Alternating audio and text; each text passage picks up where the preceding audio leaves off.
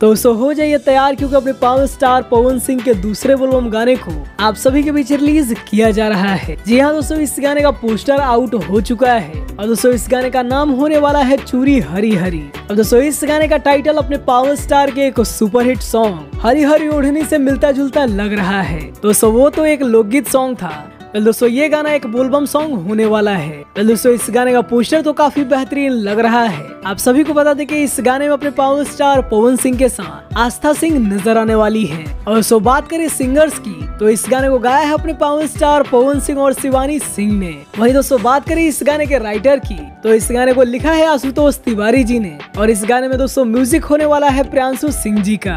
और दोस्तों बात करें इस गाने की रिलीजिंग की तो उषा फ़िल्म के यूट्यूब चैनल से आप सभी के बीच ये गाना रिलीज़ किया जाना है। अब दोस्तों, इस चैनल का नाम आप सभी ने शायद ही कभी सुना होगा, क्योंकि दोस्तों, ये एक नया चैनल है। और फ़िलहाल दोस्तों, अभी इस चैनल पर एक भी वीडियो अपलोड नहीं किया गया है। दोस्तों, फ़िलहाल इस चैनल पर अभी 6000 के आसपास सब्सक्राइबर्स हैं। दोस्तों, अपने पावर स्टार का इसी नए चैनल से आप सभी को ये गाना देखने को मिलने वाला है। और सो उम्मीद है की आज शाम तक आप सभी के बीच इस गाने का टीजर रिलीज़ कर दिया जाएगा। और सो हो सके तो कल ये गाना आप सभी को देखने को भी मिल सकता है। दोस्तों, आप सभी को ये पोस्टर कैसा लगा हमें कमेंट में ज़रूर बताइए। और अपने पावर स्टार पवन सिंह से जुड़ी हर एक अपडेट के लिए हमारे चैनल को भी सब्सक्राइब करिए। बाकी वीडियो देखने के लिए आप सभी का बहुत बहुत धन्यवाद।